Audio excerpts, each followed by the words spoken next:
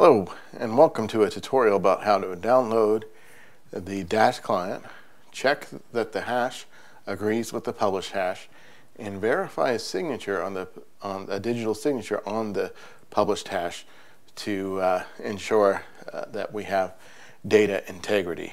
Uh, together, uh, these these steps together actually do ensure uh, quite uh, quite well that you're running the intended uh, Dash Core release.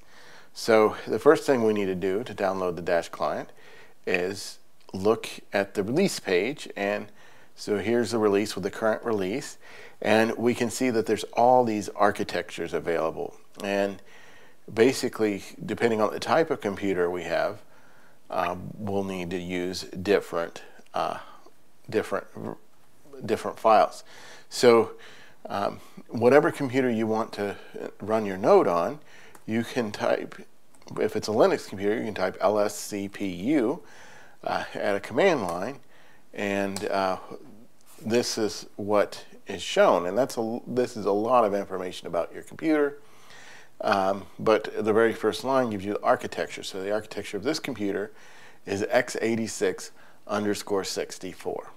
So um, when I'm looking at a, a, client to run, this is the toolbar, this is the tarball that corresponds to the architecture at x86 underscore 64. So let's just download that. Boom, boom, boom. Okay, and while I'm at this page, I'm going to go ahead and get this, grab this file, which is, uh, which we'll need later to verify that we're downloading the correct uh, the correct version. Um, let's see, there's this, um, uh, there is also a, a, signature, a detached signature right here. You could use that to verify that this is the correct release. However, I'm going to uh, do it a different way, which I believe has the same cryptographic amount of security. So um, anyway, so good. So that does that. So after we've uh, done these downloads, we can go in the downloads directory and, and see here's these two files that I just downloaded. And what I would normally do is I would move them into a different directory because my downloads directory gets kind of uh, crowded, but this is a, a, a fresh user, so, um, so I'll just stay in this directory. And uh, the first thing I'd like to do is show you the contents of this file, SHA-256 sums. And you can see that there's a signed message here. And the message that's signed is, is these, it has these, and I'm going to call them numbers. What these are are just hexadecimal numbers, which uh, is kind of a unique identifier to each file. Sometimes it's called a digital uh, fingerprint. And um, so what we can do on our Linux computers, we can type in SHA-256 sum, and I believe some Windows computers do this as well, and then type in the file name. And then what happens is it spits out a hash value. And so our file name is the one that's at the bottom here, the x86 architecture. Um, and uh, we can see that the first six digits are 15D111. And that certainly agrees with the first six digits up here, 15D111. And the, like the last four, last two digits are 42, last two digits are 42. So that verified that eight digits agree.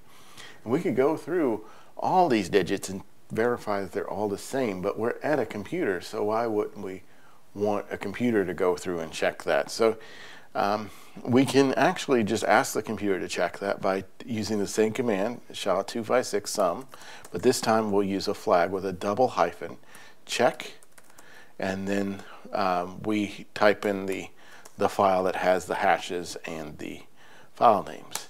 And this is the output. Now, what happens is the, these files that are in the name, it tries to check them, but those files aren't on this particular computer, and so I get that error. I said there's no such file or directory until it gets to the very last one, which is, uh, is on this computer. It computes the hash, compares it against the published hash, and they're the same, and it, it prints out okay. Okay, so that's that's the one part that tells me that okay that that, that, that there's some data congruence. The advertised hash is the same as the hash that I compute with this computer. So uh, that that's pretty good. That means if there's an attacker, uh, they're they're somewhat sophisticated because they did not only change the release, but they also changed this file with this hash.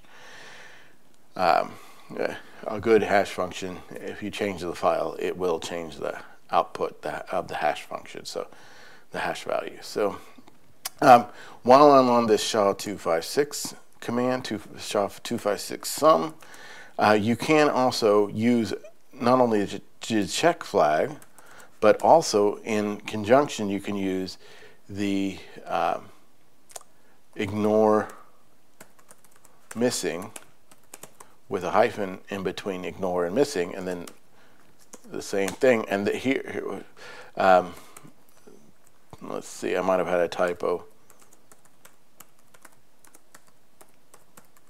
Yeah. And um, what this will do is instead of giving you all this errors with no file or directory, it says, okay, this one file is there, it's okay. And it also tell you this, that there's 19 lines that are improperly formatted, but that's the signature that's there. The signature is not telling you a hash value and a file name. So that's not the proper format to, to verify hash. But that signature, we're going to use that uh, just now, actually. So let's verify that that signature is correct. Now, to verify that that signature is correct, we need the public key. And the public key can be found in the Dash repository. Um, if we just go to the contribs, uh, contrib directory, and then there's this G-I-T-A-N keys directory, and here's all the keys that are used to sign uh, the releases. And um, right now, uh, Codablock seems to be the one that's signing all the releases. And, and actually, if you dig around, you might be able to find that more than one of those keys has signed the same release. So here is Codablock's public key. And you can see it says begin public key. And at the very end, it says end public key. And all we need to do is somehow get that into a file. So if we had the Dash repository, the file would be like we could clone it on this machine and have the file right there. I'm going to just do it kind of simple. I'm going to make a new file called ablock.asc and just paste it. Boom, paste it right there, okay? and now we can use the program GPG to, um, to verify that the signature is correct. Okay, GPG is a program that stands for GNU Privacy Guard. And GNU Privacy Guard, this, this program actually is a way to interface and implement the PGP protocol. And PGP stands for Pretty Good Privacy. So GNU Privacy Guard is to interact with the Pretty Good Privacy protocol. So the PGP protocol. So what we can do with GPG is import the key that we just copied, right? And when we import it, we get the message like this. It says, yes, we processed one key and we imported one key. Uh, it's good. It also gives you other information. This is an old email. I'm not sure if it's used by Codablock anymore, but uh, this is the one that's published on the GitHub. Okay, and now that we have imported the public key, this public key, we can one command I like with GPG, just to verify that everything's right, is, is the command with a double hyphen list hyphen keys. And that'll just list all the keys that we have. So uh, later on, we might want uh, a key from a different developer, and we would have two keys in our GPG uh, verified. So now, let's verify the signature. So to verify the signature, we just do, again, the GPG command, but this time we use a double hyphen, verify, and we type in the, the file that has the signature that we want to verify. In this case, it's the, the file SHA-256 sums ASC. We want to verify that signature. And so if I uh, do that, uh, I can see right here, it says that yes, a signature was made. It was made with this key, and there's the fingerprint of the key. And the good signature, it says that there's good signature. And that good signature is uh, pretty much uh, what I'm looking for. If, as there's, if it says it's a good signature, then that wasn't some gobbledygook included in the thing, or the the message hasn't been changed uh, in bet between signing and, and me receiving it.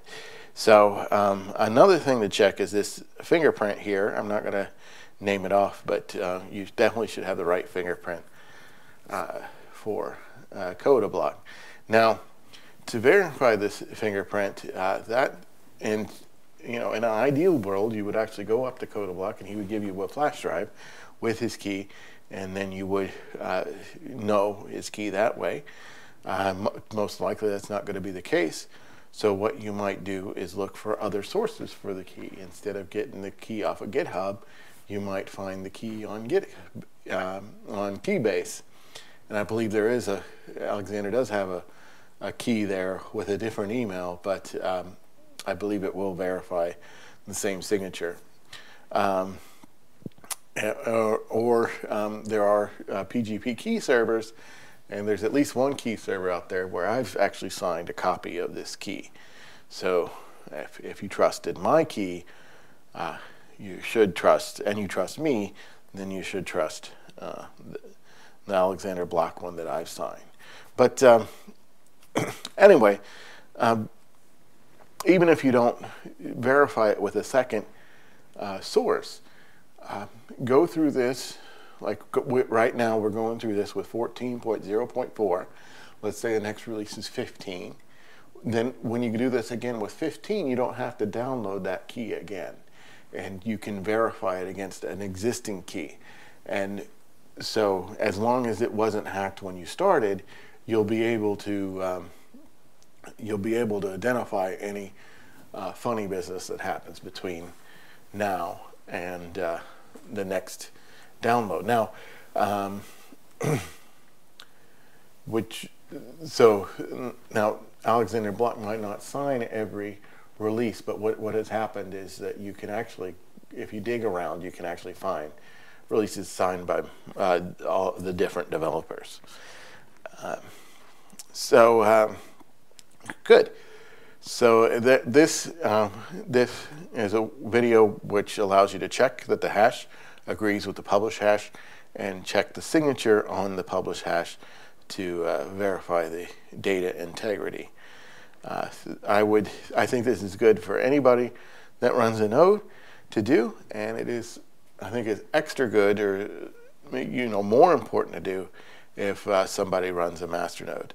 So thank you for listening. Uh, of course, this would apply to other situations as well. Uh, I, I, uh, and be safe out there.